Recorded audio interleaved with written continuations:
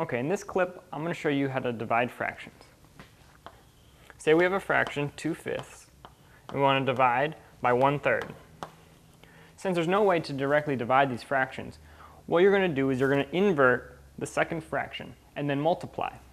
So in this, this problem will transform to 2 fifths times 3 over 1, which is the reciprocal of 1 third. Because when you take the reciprocal, you're exchanging division for multiplication.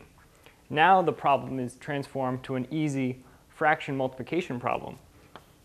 Now you just take the two numerators, multiply them together, and the denominators, and multiply them together. Now this is how you divide fractions. Another example of dividing fractions, let's say you have 2 thirds, and you want to divide it by 1 eighth. Just like in the previous example, the second fraction, we're going to invert and then change the operation to multiplication. So this statement is equivalent to 2 thirds multiplied by the inverse of 1 8, which is 8 over 1. We just flip it. Now we have a straightforward fraction multiplication problem. 2 times 8 is 16. 3 times 1 is 3. That's how you divide fractions.